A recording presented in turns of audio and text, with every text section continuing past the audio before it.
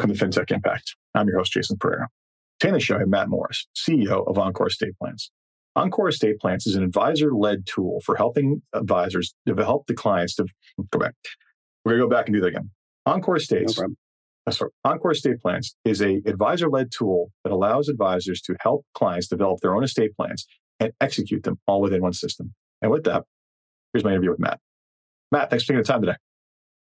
Thanks for having me, Jason. I'm excited to join you in this conversation. Oh, my pleasure. So, Matt Morris of Encore Estate Plans, tell us about Encore Estate Plans. Yeah, Encore Estate Plans is has been created to empower the trusted advisor to fix the broken estate planning client experience that exists and do it without practicing law and step into a major gap that most people have around estate planning where the current uh, options don't fit for them. Excellent.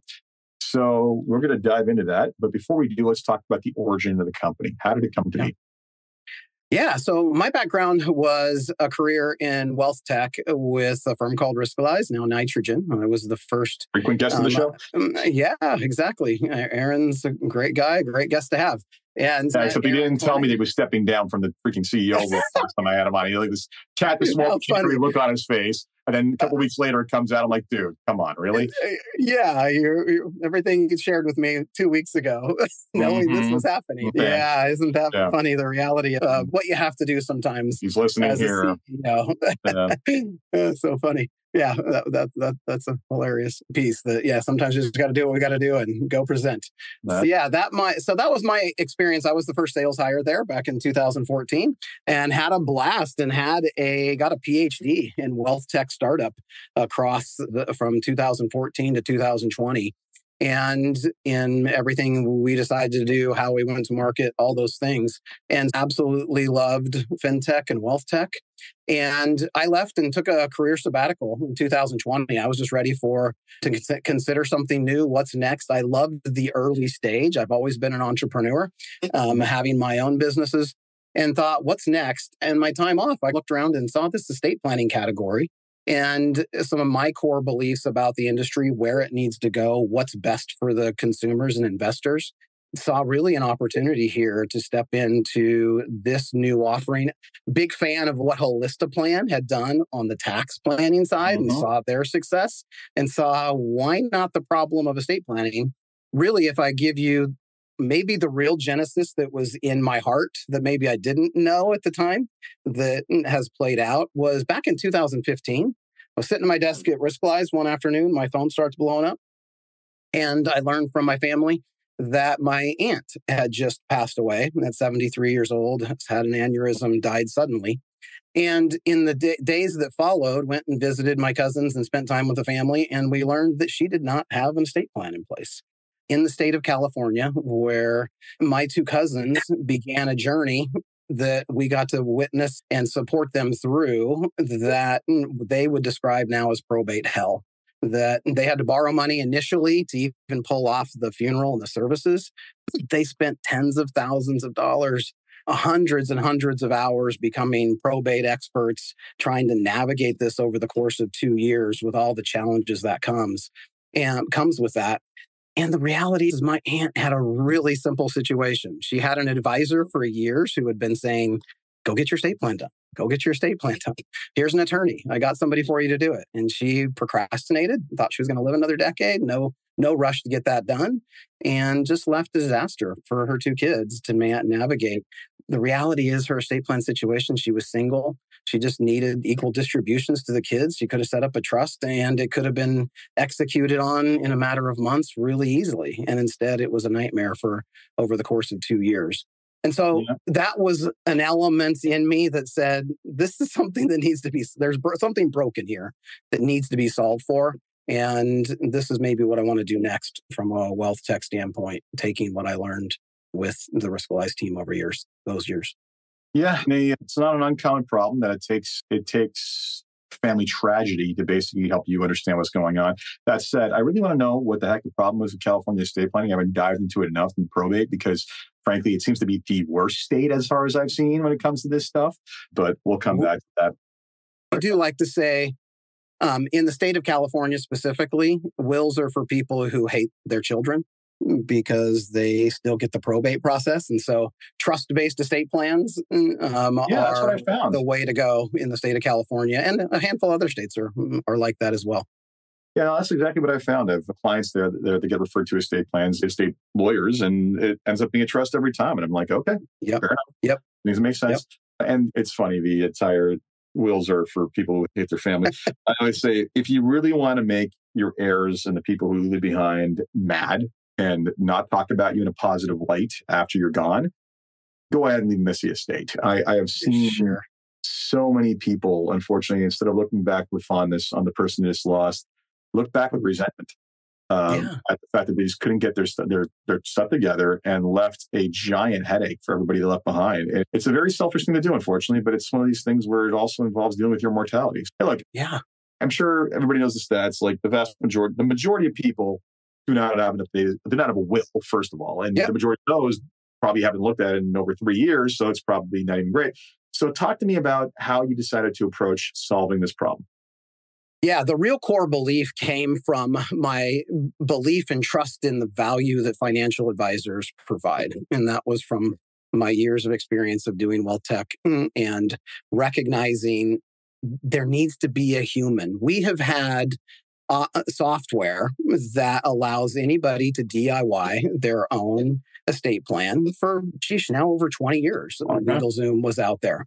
Yet we sit here with 67% of uh, Americans, at least, I don't know the numbers in Canada, without an estate plan. and mm, so pretty close to that, or okay. at least relevant, relevant one, yeah. Yeah, that and anybody can go and do it. It's right there. The software sitting there. Go get it done. It's not getting done. Software is not solving this gap. And if we begin to think about all the, to your point, the estate plans that are out of date, that are also a disaster waiting to happen because nobody exists that's reviewing decisions that people made years ago and saying, is this still what you would want? Is this relevant? Is this up to date? And so those two problems that there's mm, working with the, the attorney driven process and the software only, the reality is people, I think, know that they don't know what they don't know.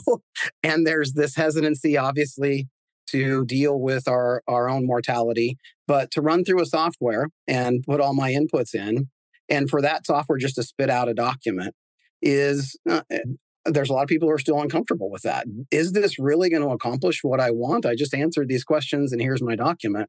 And there's also potential issues, and this exists in all software that just spits out a document that there's real potential issues on garbage in is garbage out. Here's your document, you sign it. What if I didn't make a decision there? And so the core belief in Encore is that the advisor is the hero by being that trusted human that can step into this process. And instead of delegating it out and saying, hey, client, here's a piece of software, go for it, and that they should step in and be a part of the collaboration. And the benefit is tremendous to the client because now they have that human that already understands they've already talked to about death mm-hmm. they've already talked to about legacy the human who already has context for my life knows my family dynamic knows my account situation knows has that element and if that person can step in and facilitate my experience in the software with me I feel way better about doing it. And it's also that person that I trust to grab me by the collar and say, You've been putting this off year after year. I've sent you to this attorney how many times now, and you haven't done it. Guess what? Next meeting, we're going to sit down for 30 minutes or so. I'm going to take you through a questionnaire. You're going to answer these questions. We're going to get you this document that you de- desperately needed. Yeah, I have to say estate planning combines two things no one likes administration and death. So mm-hmm. is it any surprise that people don't want to do it? Yeah, and, yeah, you're right. And your point back to the software is not solving the problem. Yeah, it absolutely is not. Just because it's possible doesn't mean people are going to do it because you still got to get over the entire. No one wakes up and says, "Today's my day to make a will." That's not a thing. And it also comes down to filling out. Eh, eh, what I really get concerned about is trying to square, square like force a square peg into a round hole. A lot of cases really should not be handled by these online simple legal will kits because frankly there's something not captured in the questionnaire or their lives that could not be that might be missed and can lead to a bigger headache than if there had been will. So it's a tricky one. And that's exactly that's a perfect point. And it, it the advisor is well equipped to recognize when software is appropriate. And we actually do this with them and we help them in this. And when that person should work with an attorney. We are, at Encore, we recognize we're not a fit for everybody. We are, are built to serve the mass affluent, the folks like my aunt who had seven figures worth of assets, but had a very straightforward estate planning need that all she really needed, all they needed are just some education to get over yep. a little bit of the hurdles of better understanding this.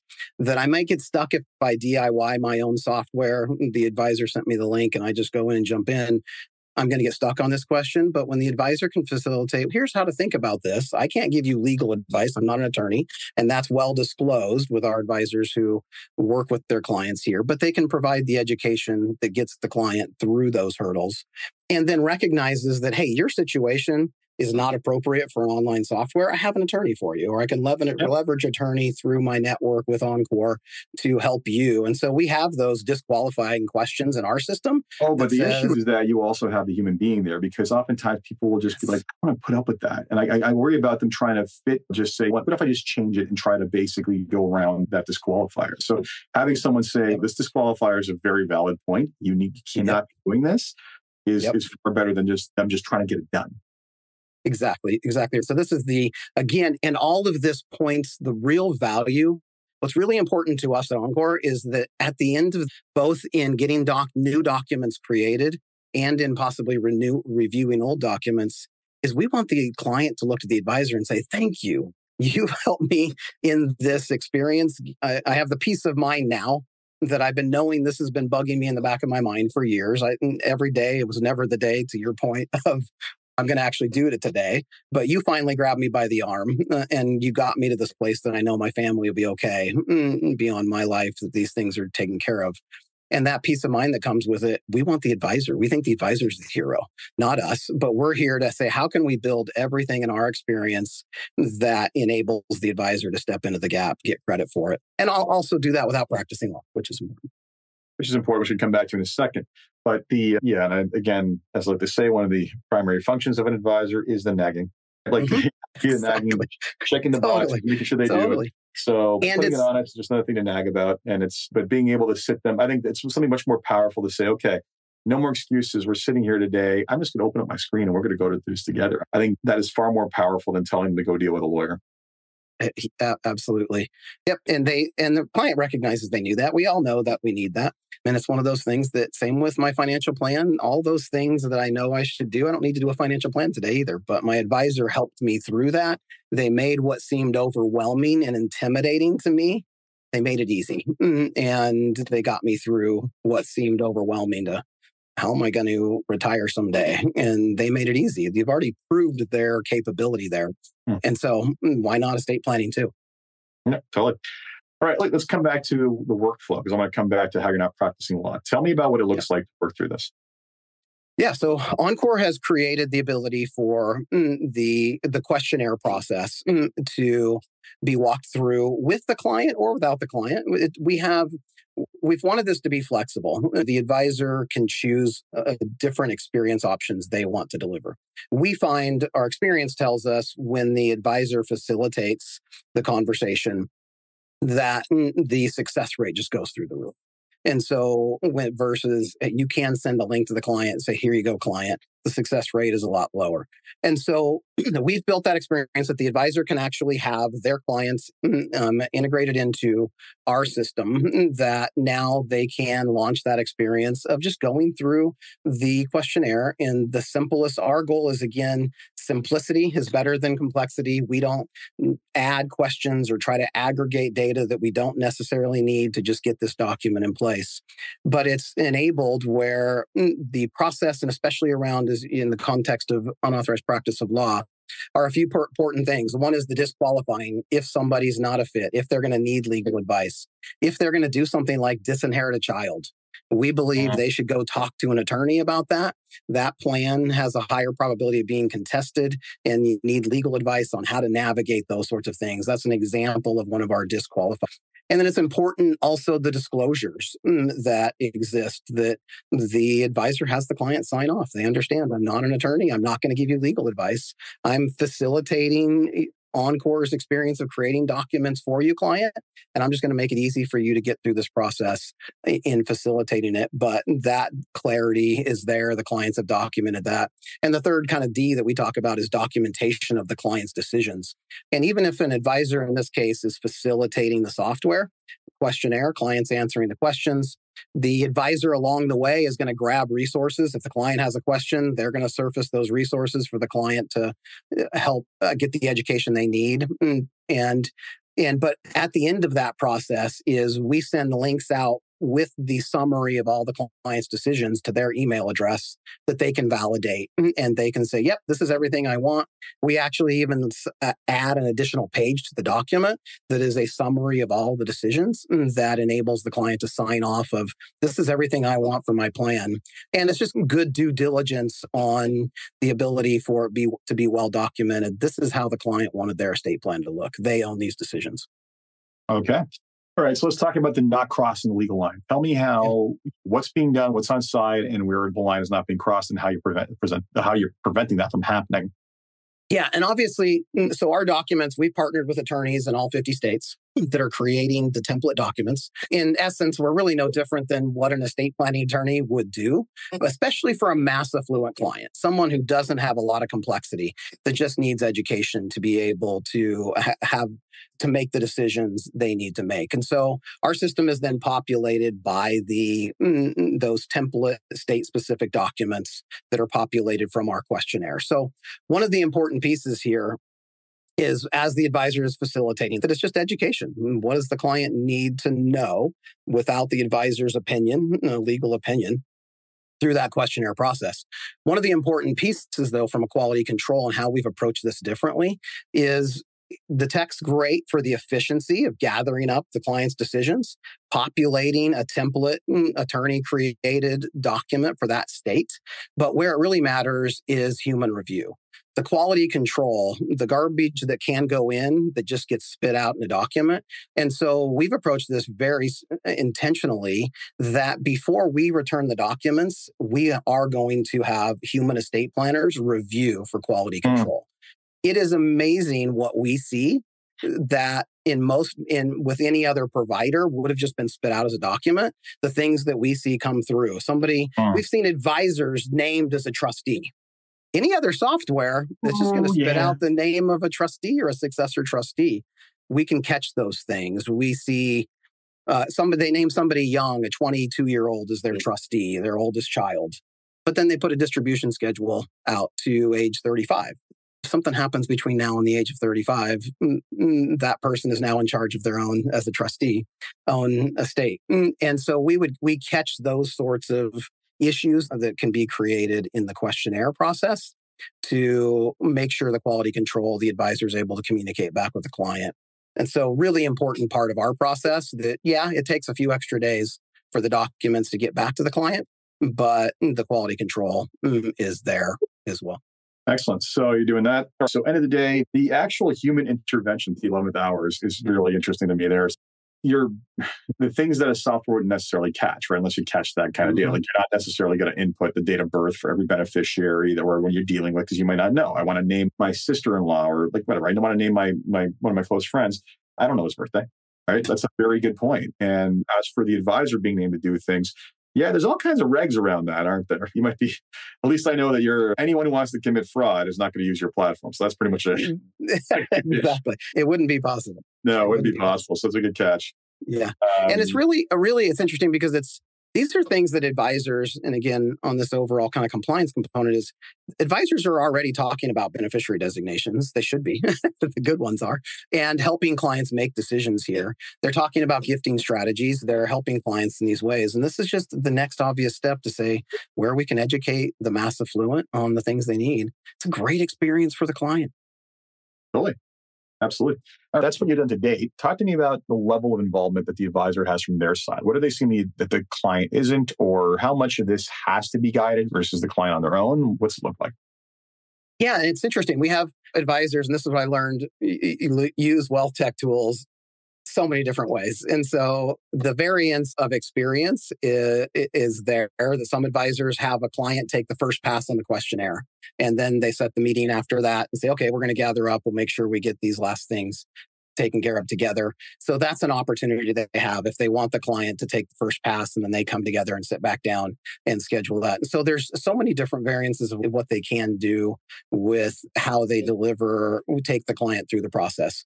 But a lot of it is also setting up, uh, and we provide in our knowledge base, we have hundreds of resources now that are both client educational, advisor educational, uh, we training on unauthorized practice of law, but all these things that equip the advisor to step into this gap. Mm, because a lot of this too is advisors feeling comfortable about these conversations and and for those who haven't done a lot on estate mm-hmm. planning being able to be comfortable through those experiences. The goal really is, and you said nagging there's that is a big part of the advisor's life. They recognize the client or if they just give something to the client to do they're not going to do it and so it's the walking through hand holding, following up with the dotting the I's and crossing the T's with beneficiary designations, the funding part. Deeds is a huge, um, important thing to discuss here. That is a funding capacity that gets missed on a lot of trust based estate plans that we actually provide the service of actually uh, recording the deeds and making sure the real estate is funded. And the advisor is there to make sure not only documents got created, Mm, mm, mm, Mm, mm, for the by the client, mm, but that now we've actually funded this thing, and we're going to avoid probate in these states where it's an, uh, uh, a, a, a real hassle for the family members. Well, all right. So that's where you are today. Talk to me about where you see it going. Where what do you see developing, or what do you have in the works that you can share with us? Yeah, we've we've launched this last year, and there's a lot more work for us to do here. Is the ability to have a visual summary on the existing estate plan. And so, really solving for that gap of the millions of estate plans that are out there that haven't been reviewed. I laugh with advisors all the time that we have too many advisors today that will ask the client, Hey, do you have an estate plan? Yes, you do. Okay, great. Let's check the box. Moving on. I don't need to ask again. Mm-hmm. If I told an advisor that in 2015, I got a financial plan done, I'm good. I don't need one advisors laugh. It's what? What do you mean? No, I'm good. I got it. I got my financial plan done yeah. like eight years ago. But we do that with estate planning, and so we say, "Oh, cool, you got one. Great." We want to make this as turnkey and as easy as possible for the advisor to say, "Great, give me that document. I'm our team's going to review it for you and we're going to have a conversation about it and make sure the decisions you made back then are still relevant to your reality today just like I do with your financial plan. And we're going to review this on a regular basis. And so we have the ability where we've made this they upload those documents into our software for $150 we provide the a visual summary of here's all the decisions made in a one page overview that delivers 90% of what somebody would want to know in a one page summary on the advisor's letterhead that then now facilitates a great conversation with the client to or the advisor and the client to review those decisions. And and if, if they're happy with their plan as it is, awesome. That becomes a cover page on that document with the advisor's letterhead that is easy to understand. That's an amazing document to send off to every family member that's named in this document. They should uh-huh. understand their role as your healthcare agent. Oh, um, it's the great family conversation that says, hey, your children should have some understanding of your estate plan. You might not want to send them this 70 page document, but here's a one page overview that can facilitate the family conversation. And often what happens is in that conversation, the client realizes, oh, geesh, we forgot we named Judy as our successor trustee. That's not a relationship we have anymore. We have a problem. And right. great. Visors value is uncovering, delivers value by uncovering problems clients didn't realize they have. And I love the entire. A, I left that person I haven't spoke to in five years a bunch of money. I should probably fix that problem. Yeah, totally. Or an ex-wife is in there somewhere. Whatever. Oh, that those yeah. relationships change, wealth changes, health changes, all those things that mm, mm, well, existing documents need to be considered. And then we make that process to say, okay, let's grab all the information out of your existing old uh, plan. Let's restate it and let's re and let's have our questionnaire filled out with that information that then mm, you can go in with the client. They can make the changes they want to make, hit submit.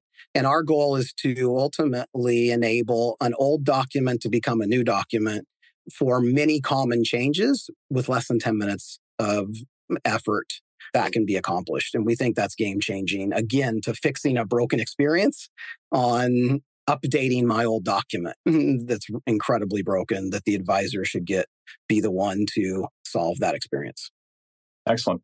So before we wrap up, there's three questions I'd like to ask everyone to end on a positive note. First one I have yeah. for you is what's the get one wish for something to change in your company or the industry as a whole? What would it be? You know what? It is access to advice. Hmm. And I think we're going this way. And we see the advisors that are attracted to estate planning as an offering that we need more advisors with flexible models that of how they get paid.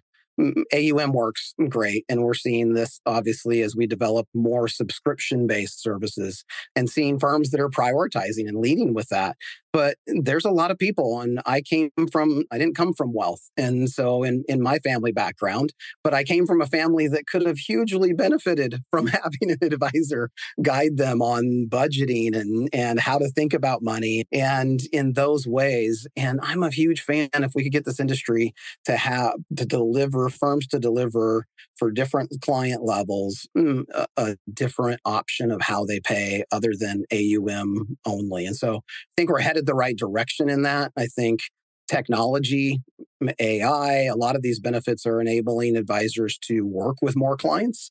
Uh-huh. And if we could just move down market and, and get more access for more regular folks that need a great advisor, super important.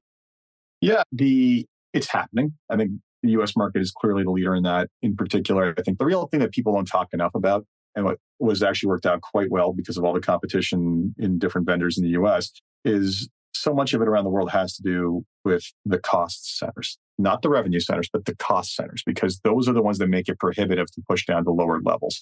And the likes of what XY has done in terms of being able to give you a turnkey solution at a very low affordable price just opens the market up for what is possible. So I think uh, I'm, I'm with you. I'd like to see more advice get down there, but I think more often than not, as an industry, we need to stop start looking more, stop talking about fees as much and how we charge for fees and realize mm-hmm. that they're a function of profitability. And we need to look more at what can we do to basically service that market in an affordable way with an affordable, with affordable solutions that are highly scalable and then work backwards to what the clearing price is. Yeah, yeah, yeah, I hear you. Yeah. Second question I have for you is what's been the biggest challenge in the company where it is today? Yeah, I think in some ways, though, we're not alone in recognizing that estate planning as an offering is a huge opportunity for advisors. We're sometimes early in that oh. overall. There's still advisors who I think get the concept and the idea of, okay, this is cool but mm, obviously are hesitant to step into things that they don't have all the answers for and the one of our challenges is coaching advisors into getting them comfortable with this role with and leveraging a support team we have estate planners available to advisors but learning to be okay with having a conversation facilitating this for a client and not having to be the source of all the answers and leveraging resources, leveraging an estate planning team that we have as a support component. And so we're still early on getting advisors to really adopt this. I think a lot more today say, I want to have that as an offering. I want to deliver that as a solution, but getting the through the effort of building out a new offering is slower for a lot of advisors to to take on. And so obviously I think mm, it, right today it's a huge opportunity for advisors because of that uh, the low adoption of estate planning at this moment in time uh, uh, as an offering. It's a huge differentiator. It's driving referrals, driving revenue, driving retention. And as more advisors catch on to that, they're going to do the work to establish this. But estate planning five to eight years from now is going to be table stakes as a financial planner. That if you don't have it, you're going to lose clients. Why would clients and prospects work with you? Yeah, no, I agree, but I will also say that frankly, it already is core. Just yeah, have to wake mm-hmm. up the fact that it is. It's, yeah, it's part of the entire cycle. So just, and I always had a distaste for just telling people to go talk to a professional. That's, mm-hmm. that's not service. That's just abdication of service. You should really be yeah. focusing on being in that room and facilitating that conversation as much as possible. I know there's a scale. You're, it's it's still a core piece of it, regardless of that. Okay. Yeah. All right. And then the, uh, last question I have for you is what excites you the most about what it is you're working on and keeps you getting out of bed in the morning to fight the good fight?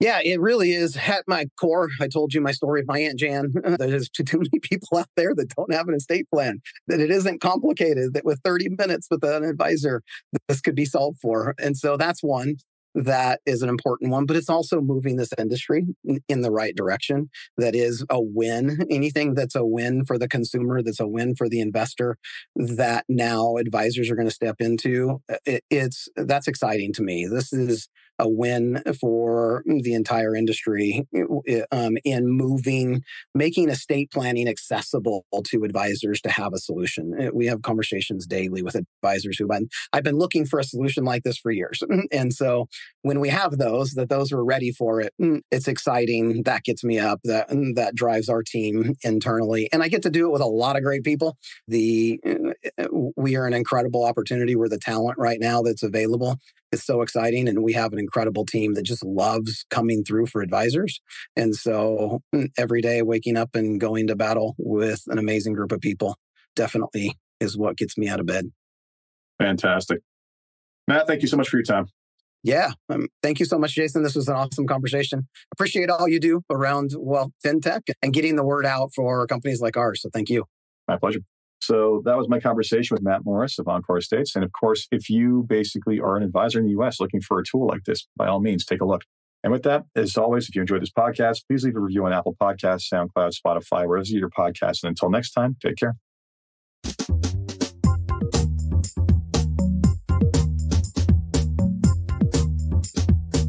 This podcast was brought to you by Woodgate Financial, an award winning financial planning firm catering to high net worth individuals and their families. To learn more, go to woodgate.com. You can subscribe to this podcast on iTunes, Stitcher, and Google Play, or find more episodes at jasonpereira.ca.